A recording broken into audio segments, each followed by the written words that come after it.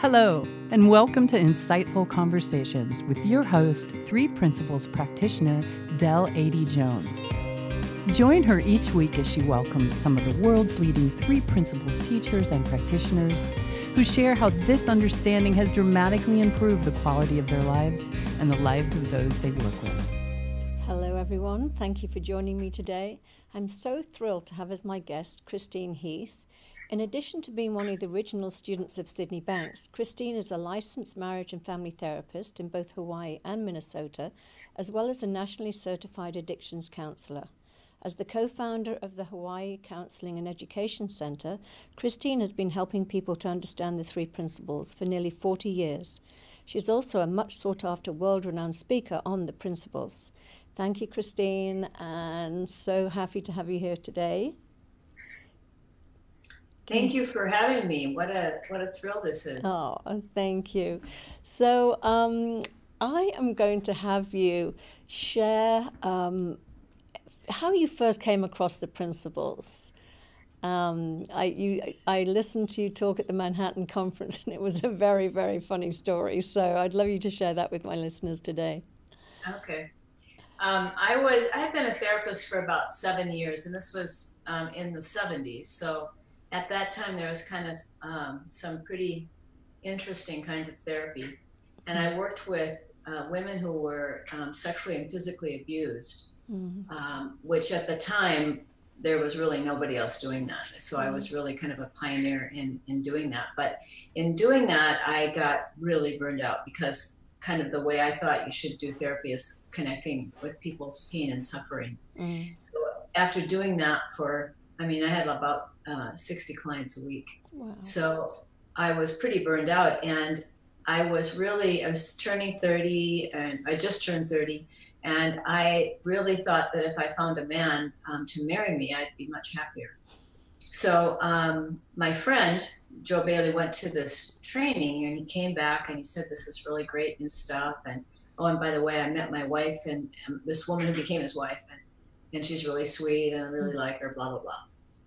So he uh, brought one of the speakers up a couple of months later, and everybody in my clinic decided to go. And I didn't want to be the one person left out, although going to a male psychologist at the time wasn't really something I thought I could learn much from. But I was sitting there and I thought, well, you never know when you might meet a man, and maybe going to psychology conferences instead of bars, I would be able to find someone that was uh, willing to marry me so so I um, signed up and I signed up for both days because the second day was optional. But I thought if I met a man the first day and I wasn't signed up, it would look too obvious if I signed up for the second day. So it was quite um, scheming on my part. So I went to the training and I was kind of the person in the audience that you hate to have in our audience who's asking all the questions that are really um, argumentative and um, very negative, and the feeling I had was just very um, combative. And I remember that we broke for lunch, and at the time I, I had a, this clinic with about you know, 10 other therapists, and we were all sitting together having lunch together. And we were talking about how what we were doing was good, and that this really wasn't anything new, and um, what was the big deal. And we got up from the table it was kind of a, a, weird kind of thing that happened is I got up and I remember turning around and everybody was kind of stuck in time, you know, like where the main character in the TV show keeps walking and everybody else stops in time. Yes. Yeah. And it that happened and I thought, oh, weird. And then I mm-hmm. turned around and as I was walking out, Dr. Mills, who was the person that came up to do the seminar, was walking out at the same time. Now, by this time, I knew he was single, so I was thinking about dinner. And, and I thought, gee, you know, maybe I should like listen to him a little bit so that when I talk to him, I don't sound like I'm an idiot. And I remember we were walking toward the room, and he had the nicest feeling of any person I'd ever talked to. It was like kind of talking to velvet. You know, when you yeah. stroke yeah, it was just a really beautiful feeling. And so I went in the afternoon session and I thought, okay, I better pay attention here. So I'm I'm listening and then the morning, I kind of thought everybody else in the room understood him because he would answer my questions, but I didn't understand him. It just like went over my head. Mm. And um, so the afternoon, I started listening, and I remember that. Now you have to understand, the times were interesting, but he said to focus on positive, and I thought, oh, positive. I could do positive. Now, at the time, positive was kind of considered malpractice because you weren't really oh. concentrating on people's pathology. Mm-hmm. And then we had a break, and there was a physician there. And at the time, I thought that physicians being smart enough to make it through medical school were like one step down from God. And so I went up to this doctor and I said to him, I said, Well, what do you think about this? And he said, Well, it makes pretty good common sense to me. Mm. I thought, Well, if a doctor thinks this is good, maybe I should listen. So I went back in the afternoon, the last session, and Roger put this diagram thing on the board. And all of a sudden, I had this huge shift. And I was like, oh my gosh, I've been doing everything backwards. Wow. I've been trying to fix things after people create that. No wonder I'm not happy and they're not happy. Yeah. So I started I started laughing, really. I laughed for about three days, but it was um, it was interesting because what I found what, was, what I was looking for was love. It just wasn't in the form that I thought it was. Yeah. Roger Mills did not become my date, but um, he he definitely pointed me toward the true source of love, which was within me. Mm, that's so beautiful. I love that. And and you were a really quick learner. I mean, you just it, you got it. Yeah, I, I, I always say that life looked at me and said that they needed some teachers and looked at me and said, You're one and you need to change a lot. so I kind of felt like I somebody grabbed me by the collar of my shirt and yanked me up a few levels wow. of awareness. And yeah, so I changed so much that people thought that I had joined the Moonies or that I was on drugs or that I'd met a man. That they'd never really seen a person change that much yeah. without attributing it to something on the outside. Yeah. And I, at the time, I mean, I was a very well-known therapist in Minneapolis. I was really pioneering the work in family violence, and people would call me up and say, "Chris, we heard you flipped out." And I said, "Well, I said I think I flipped up, and if this is what flipping out is, you should try it because I've never been happier in my life." Mm-hmm. And that was kind of it. Like they couldn't really say anything because I was obviously a healthier human being. Mm. Like the results really spoke for themselves. But yeah, I, I, I, changed a lot. In fact, all of my clients, I think three people dropped out. Wow. And everybody else stayed. And what they said was that they could see that I was in a better place and whatever I was doing, they wanted to do. Yeah. So it was it was like the blind leading the blind because at that time there were no books, there were no there were, I had one cassette tape, you know those little cassette tapes that they used to have. Yes. And I would play that every day when I came home, a Syd Banks tape. Wow. And I listened to that sucker every day until I started talking in my groups. I'd start talking with an A, you know, Canadian A. and I thought, okay, this is too much. No, I'm listening. Well, at least you didn't have a st- Scottish brogue. I didn't have a Scottish brogue, thank goodness. But, that would have um, been funny. So, yeah. um, I mean that that's is so that just speaks to it right there. I mean they your clients saw the change in you, so they trusted and they went along with you. So how did you transition from where you were in Minnesota to where you are now, and the um, the um, beautiful, incredible place you have in Hawaii? So how did that come about? Well, um, actually, I was by that time. Joe and I set up our the first clinic um, based on the principles, and mm-hmm. um, I was the executive director. And in that position, I was a little too hard on people. I was very, I could come across very harsh and really hard on people. And uh, to me, I, I didn't think I was because I was way harder on myself. But yeah. I, I did. And so Joe took me aside one day and he goes, "Chris, um, you're a little bit too hard on people." And so I went home and cried for three days. Oh. And I was like, oh my God, I'm a bad person. I'm supposed to be teaching this to people. And uh, I can't do it myself. So I called up Sydney Banks and I'm crying and crying. He says, he said to me, he said, I told him what the problem was. And, and he mm-hmm. said, now, this is the thing. Sometimes we get in a low mood and sometimes we get in a very low mood, like you are right now. Mm-hmm. Now, if you can see something about yourself that you'd like to change, just change it and forget it. Yeah. And then I think you should move to Hawaii and set up a clinic there. It's like, oh, great idea. Wow. And so it was his suggestion? Yeah, it was his suggestion? Wow, amazing. And so yeah, so I I just said yeah, that's good, and I I just had no fear of it. I just Mhm. knew that was the thing to do. So I talked three of my girlfriends into moving with me, and um, we we moved over to Oahu. And getting here, we realized that it was uh, masquerading as a state. It was really another country with its own culture and its own language, really, that Mm. everything was really uh, different. So we had to kind of settle in for about a year and and uh, really learn how to live in a different feeling again. yeah. Wow. And so we and we set up a clinic, and pretty soon it uh, start. I started getting some grants, and people used to when we first moved to Hawaii. Um, people in the mental health profession used to call us the Sunshine Girls because we were so happy, and yeah. they had they'd never seen people in the mental health field that were that happy and it was funny because my my boyfriend at the time i actually met my husband like two months after i got there. Hmm and i was dating him and he was uh, surfing one day and another surfer was out there who was in charge of another employee assistance program. So they knew each other. And he said to me he says you know have you met these girls that are over in uh, yeah, kailua? They're like so positive. Are they on drugs or what and, and my husband didn't tell him that he, he knew me. He goes, "Oh yeah, I know him, but they're, no, they're not on drugs. They're, they're they're just pretty happy people." Wow. Okay, interesting. So, long story short, then we eventually uh, grew to. At one point, I had um, about sixty-five employees, Wow. several big contracts. But the state then started to decide that they were going to tell us how to treat people, Oh, even though we had better results than anybody else. wow. um, so we moved out of that and downsized again. But Mm. yeah, so now we have offices on Oahu and on the Big Island. Wonderful.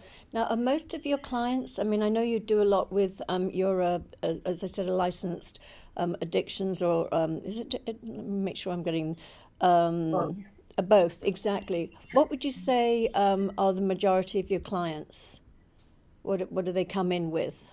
What do they, Um, you mean for the cl- clinic or for me? well, for you, as, as a three principles. Now, are you, are you strictly a three principles practitioner or, or you still do the, well, you don't do the regular therapy anymore. So, so yeah, when they come and see you, what do they are they usually um, dealing with addictions or, or what has got them in, into seeing you?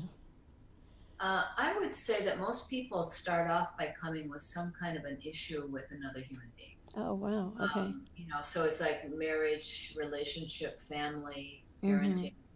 Um, that's where most people start off from. Sometimes they also have addiction problems as a result. hmm of the level that they're living at. But I also work with a um, a uh, boarding school, and uh, so I see a lot of high, really high functioning um, young teenagers that are pretty stressed out Yeah. and um, having you know lots of pressure that they they put on themselves really. Yeah. so I, I do that and so i work with kids i work with adults i work with couples i work with um, families. And uh, we also work with vets. We, we've got a big um, caseload of um, veterans from the va with ptsd Mm. and um, and, and substance abusers that come in anger management um, kinds of issues that come in I know that's that's the beauty of the principles. It's it's it's just across the board. yeah So how do you when you first get a client coming in that just has no sort of concept of the inside out nature of life and and is pretty sort of solidly stuck in their story, how would you first, you know, start to present what what we see to somebody like that? Um, well, what I do is I, I just get to know the person first of all. But Mhm. in in the way that I get to know them, the I think it's just the whole when you understand the principles, the way you interact with people is different. Yeah. So, in, like in the in the past, I if people would tell me about some awful thing that happened, I would be like, "Oh my God, that's so terrible. That's awful," and and I just don't do that now. Like I'll listen and I'm empathetic with people, but eh, that's like their problem is not the big deal to me. So what I'm listening for is I'm listening for how their health has come through them. And I usually start in that way just to let them see how their innate state of mental well being has always been there and mm-hmm. will always be there, and how they can like recognize the importance that mental well being has to overcome whatever issues they've come in with. Yeah. That's beautiful. I mean, that's I mean that's really exactly what it is. That's very succinct, but it is. You know, I find the same with my clients. I mean, there it's it's um, it's hard sometimes when um, well, it's not hard. That's a thought. We're not going to go down there. But um, but it is. It's been there with empathy without getting um, caught up in the story or the, or the weeds of, of, of what somebody's talking about. So um, I know that you, you co-wrote a book with Lori. Um, I'm going to say her name wrong. Um, Carpenos. Carpenos, that's right. All about love. So um, can you tell me a bit more about that book? Oh, sure. Uh, to me, that this book is really about the living of the principles, mm-hmm.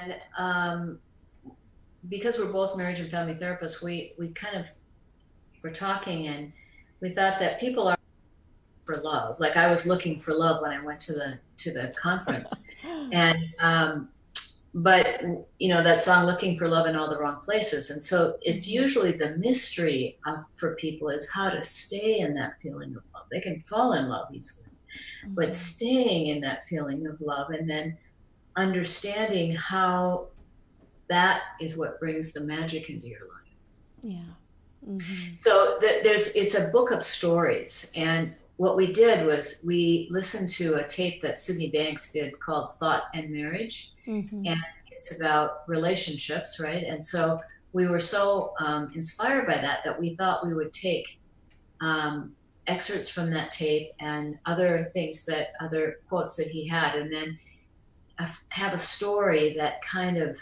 ex- is an example of how that understanding would affect various situations and then just a short discussion afterwards. Yeah. And partly that's because we think that stories are the best way to really help people to see the principles. Yeah. And um, and we wanted to keep it really as clean as possible with us us talking about the principles. So we're really talking about living from an understanding of the principles. Mm. So it's actually I think it's a, it's a good book for anybody. Yeah. Um, because it, it's uh, not some people think it's just about you know couples or relationships which a lot of the stories are mm-hmm. but i always tell my clients just read it for the idea about how to live from the principles because you might not have that specific story but you'll have something that's yeah. like it that's so funny that i think when i first came across the principles i immediately was reminded of myself when i was a teenager and I remember thinking one day, oh my God, I can actually talk myself into loving somebody and right back out of it. I mean, I was so aware of my thinking. Wow, that's great. I know. And it was like, so when I came across it again, I was like, oh, I know this. you know, I, I mean, I, we always say we know it because it's, it's who we are, it's what we're made of. But yeah. to have that awareness, you know, as a teenager, I thought was pretty, oh, pretty. Oh, yeah Amazing. What a, what a great insight. Yeah. So basically, so once you found that love within yourself and um, moved to Hawaii, you did have find love and marriage and. I did. Yes. Yeah. Uh-huh. Been married. Uh, this year will be. Uh, 29 years. Wow, it's amazing. I was sharing with Elsie the other day that that is something so beautiful about most of the um, the um, first generation teachers. I just see that they have these incredibly fresh, beautiful, alive um, relationships. Mm-hmm. So, um, would you attribute? I mean, I, I think the principles is definitely what keeps that. I I know the understanding of separate realities has helped me immensely in my relationships, not to expect my partner to see the world as I do. Yeah. So. Well, it, I'll, I'll, tell you, um, we've gone through a lot. My husband's middle son um, got really gravely ill and died when he was 25. Oh, yeah. We've um, been back and forth to the mainland a couple times, and uh, not not having the principles would not ha- we would not have made it. I'm sure. Yeah. Because uh, it's it without understanding that what I feel comes from me. Mm-hmm. You know, it's like that's such a powerful thing for me in my relationship. And so what what comes from him is his deal. It's not mine. Mm-hmm. And um, understanding that and knowing to always go back to the feeling, like that's um, one of the things that we do is we just do things by feel and we both are on the same page with that you know so we both get on into a good feeling about whatever it is we want to do and then we do it Mm-hmm. That's been such a gift. And honestly i mean i couldn't have met a better man than i it took me a long time to meet him but when Mm-hmm. i met him he was exactly perfect. And so i told him when we got married i said you know honey that if we're getting married we'll never get divorced. And he said oh well, why is that? I said because it'd be really bad for business. And so i just absolutely can't wouldn't tolerate that. So you're you just have to be sure you want to marry me because this is we're not having a divorce so he said oh, okay that's great and you know honestly that's one of the things that i think people do is they entertain the idea of divorce Yeah. and, and so it makes it something that's plausible or something that's um, a possibility whereas if you know that the only thing that's wrong in any relationship is negative thought Mm-hmm. it seems silly to go through all that drama and pain and suffering Yeah, I know exactly. That's well. That's wonderful that you that you knew it before you got married, and you didn't have to go through that. You know, having yeah had i gotten married before i learned the principles i would never have stayed married to anybody yeah. and um, yes, it it um, it was a blessing in, in that way. But yeah, I met him, and then um, uh, he was single at the time. He had been he'd been divorced, and his Mhm. children were with his ex-wife. And then about six months later, I got all three kids. So I, I Instant uh, went family. from not having any, not ever leave, living with a man, to being married and having three sons that were all teenagers. So Oh wow. it was uh, I, I, I often said that I didn't ever write this book, but I was going to write a book called um, uh, "How to Be Hated and Still Keep Your Self Esteem: The Guide to Step Parenting." That- That's a great book. I, I'm sure that's actually Yeah, yeah, Yeah. it's it, it, it's going to come. yeah. But I had to wait till they're old enough that I can write it. Laugh at. it. That's so funny. So, um, if you were going to sort of leave our listeners with just anything to really which, on, on the subject of relationships and um, anybody that is contemplating or i mean i notice for myself i mean depending on my mood i could be sort of not certainly not anymore but but in the beginning of my relationship i have now there were days where i'd be, I'd be going i don't know if we're so compatible. And now thank goodness i'm just like if, if even that thought comes through my head for a second i'm just like i know it's going to pass. It's just a momentary thought and i'm not going to pay any attention to it so that's helped me. So, what would you say? What would you just, uh, it's not advice, but just words of wisdom that you would share with anybody that may be struggling with an addiction or a relationship they think is, is failing and um, they were coming to see you? What would you, what's some of the things you would leave them with? Well, I think that negative thought is the culprit in most people's suffering. Mm-hmm. And um, it's easy to get caught up in our thinking and not know it Yeah. because it really looks like it's the other person. It looks like it's the problems in our life. It looks like it's what's out there that's making us feel bad.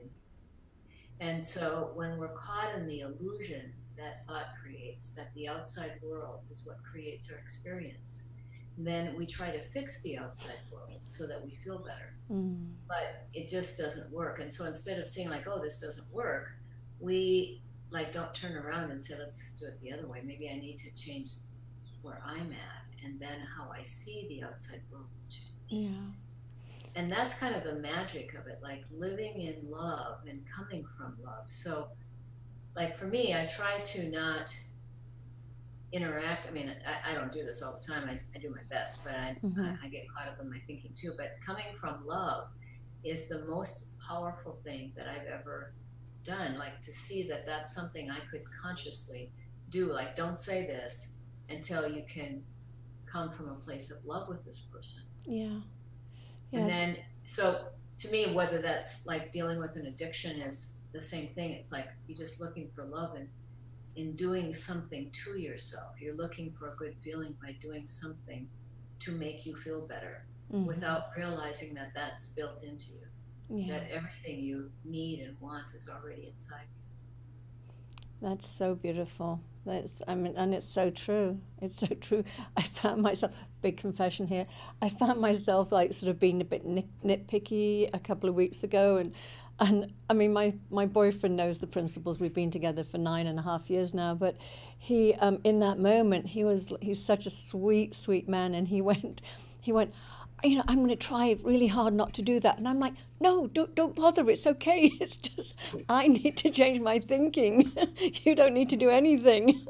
Yeah. but it was so funny. I just caught myself in that moment going, oh my God. But we do, we forget. And um, it's just natural. But it's the, it's the resilience. It's the, it's the being able to go, oh, I recognize what I'm doing right now. I'm just having some negative thinking. And I'm not, as you say, not coming from love. Mm-hmm. But, um, you know, my husband is Hawaiian, and uh, he grew up in a culture that did not, does not uh, value a busy mind. Mm, wow. So my Achilles heel is I get going too fast in my head, doing too many things, and and he, my husband will bristle a little bit. Like if I'm going too fast, he'll be like, and I know now that when he does that, I'm going too fast. So he's yeah. like my mirror. Mm. He helps me to see. And and that's one one of the things that makes it perfect for him is for us is that, you know, mm. he's um, he, he he naturally grew up in a world understanding about aloha, which is yeah. that living in a beautiful state of mind, living in mental well being. Wow. So uh, he, he's he's been. I always say that he keeps me honest. Yeah. He, uh, I don't I, I don't get to uh, indulge in negativity on the side. That's perfect. That's perfect. That that's where you found yourself too in in that culture, as you say, mm-hmm. where that's that's valued. Well, I just want to say thank you so much for joining me today. This has been amazing and oh, um, goes very fast, half an hour, but thank you. And um, I hope to see you soon. Oh, thank you so much, Del. I really uh, appreciate all that you're doing to help spread the principles in the world. So thank you very much. Oh, thank you too. Okay, bye bye.